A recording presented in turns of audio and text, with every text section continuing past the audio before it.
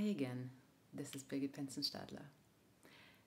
So, one of my teachers said a couple of days ago remember, this is it.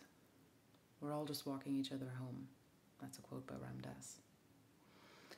There may not be another day of sunshine. And we are more than just our bodies and our minds. We are connected to everything around us. Remembering that is a comforting thought. It may not always be easy to live into that. Because the day after, my grandmother asked me, well, What purpose is there in life when you're just hanging out by yourself all day? She's 97 and so she's lived quite a life and I hear I hear her in her loneliness very much. And I responded, maybe the purpose is to get curious about the little things in each moment that we can find joy in and that we can be grateful for. Maybe it's in seeing that butterfly go past the window. Maybe it's in sending a smile to someone. Maybe it is in feeling the rays of sunlight on her skin.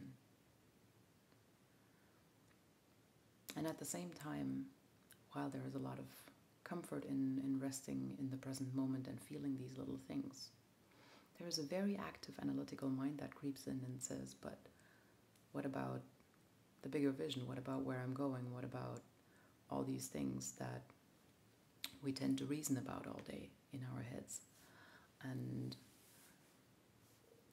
another teacher of mine said to that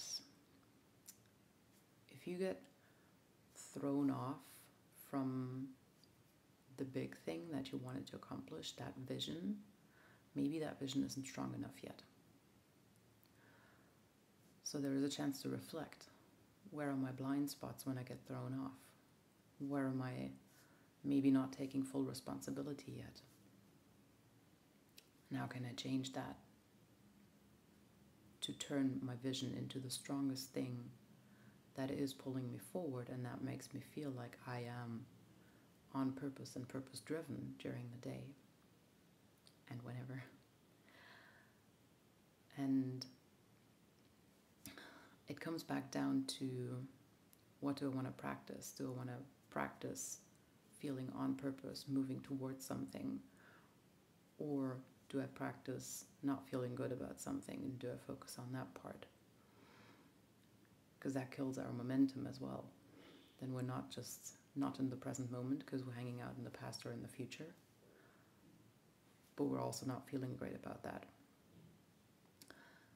And so this boils down to the question how much can I anchor myself into the present moment with a positive vision of the future and anchor into that positive vision that then creates that feeling in our body of that positivity, which then influences our thought patterns, and there goes in a snowball effect. So I want to send you along with this. What is the part that you want to practice and reinforce today? Go for it.